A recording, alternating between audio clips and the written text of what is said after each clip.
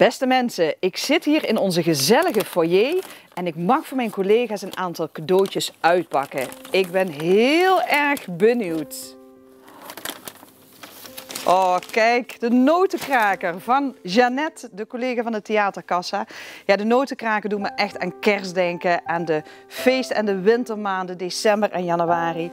En het, uh, nou ja, het is een prachtig ballet met uh, muziek van Tchaikovsky, prachtige kostuums. Dus misschien een idee om uw kleinkinderen mee naartoe te nemen. Want de voorstelling begint om half acht en is in januari te zien. Hartstikke mooi. Nou, het volgende cadeau heb ik van collega Hilde. Ook weer heel benieuwd.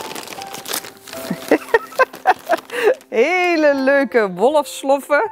Dat refereert natuurlijk aan de musical Dolfje Weerwolfje. En gelukkig is het geen uh, heksenmuts, want uh, Dolfje neemt uh, dit keer Fuchsia de mini-heks mee. Twee mooie boekenkarakters van Paul van Loon. Te zien in januari hier in het theater. Nou, en dan het laatste cadeautje van collega Yvonne.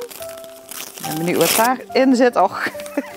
Ik moet meteen denken aan de Vasteloven natuurlijk. Maar ik denk dat hiermee de voorstelling van Elton John wordt uh, genoemd of bedoeld. Uh, te zien hier in februari en uh, nou ja, met flamboyante kostuums en al zijn bekende nummers kunnen jullie hier met vrienden genieten van deze voorstelling. Leuk Yvonne, dankjewel.